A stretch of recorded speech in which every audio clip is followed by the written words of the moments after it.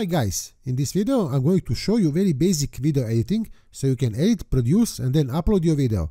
All this I will teach you in 5 minutes. I will be using Power Director 18 or 365 since I know it best, but basic video editing principles apply for all of them. Premiere Pro, Final Cut Pro, DaVinci, doesn't matter. When you open Power Director for the first time, this is what you will see. Here you can choose video project size. These three things are for children. Most editing software have similar stuff. You should use only full mode. This is what it looks like. There are three basic regions in any editing software. In most of them you can customize the look, but this is standard editing layout.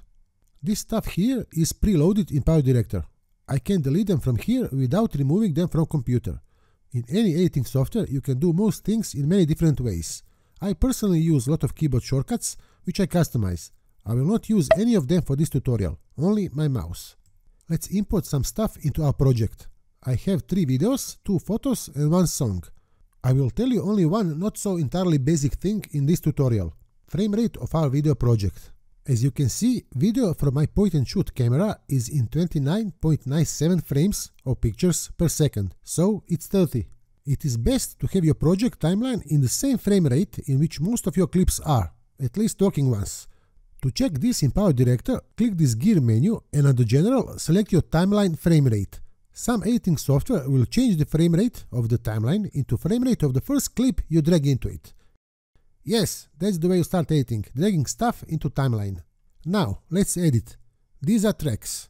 Think of them as layers in a sandwich, ham, cheese and other stuff. You can add as many as you need, but for this tutorial I will stick with these two, and these three at the bottom where you can put text, voiceover and music. But you can put anything on any track, not necessarily these three. Top part of the track is video part, bottom part of the track is audio part. To see timeline better, click here, hold and drag. When you click and drag this thing, that is called the scrubbing. In preview window you see where you are in the project. To fill this gap, just click this clip, drag it to this one and they will snap together. To move them both, select them and move them. Clip preview will play only selected clip, while movie preview will play entire timeline. Now I want to cut this first part of clip 1. Find the spot, right click, then split. Now we can delete this bad part. Let us do the same with end part of clip 2. It would be nice to put third clip between these two clips, some b-roll to make a video nicer. Move this and drag clip number 3 in. We don't need audio of this third clip and it would be nice to replace it with some music. Right click on it, then link, unlink video and audio. I can now click on this audio part and remove it. Since I don't want silence, it's time for my mp3. Drag it down and place it on track 2. It's too long, because we need to hear the second talking clip.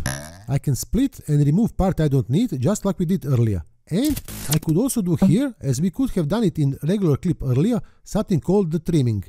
Go to the end of the clip, click, hold and drag to shorten it.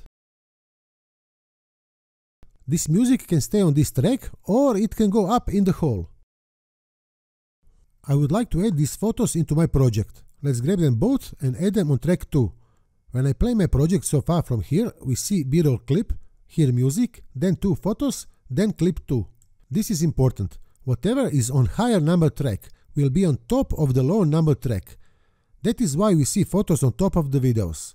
Most editing software have track number 1 at the bottom and as you add more tracks they all go on top.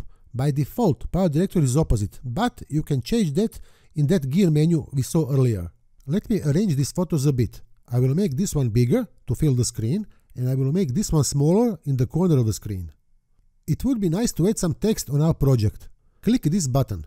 Power Director has hundreds of presets, but I will add plain simple text. I can edit this text by double clicking on it, what will take me to Title Designer. Since you are a beginner, I will close Title Designer and edit my title by clicking on it in the preview window. I will make it smaller and in the middle. Grab everything and move it to the beginning of the timeline. But I don't like this title by itself at the beginning of the video. I will move it on track 2 on top of me talking in the left corner.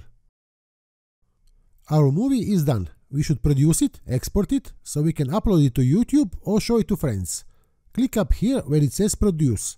Some software might have render or export label. In all editing software choose H264 format. standard 2D video. In Power Director, easiest for you it will be if you click Profile Analyzer and it will suggest the best matched output settings for your project. You can edit them by clicking on this pencil. Choose my destination and click Start. Here is a video, my very basic video editing tutorial in Power Director. I hope you will start editing your videos. Thank you for watching and I will see you in the next one.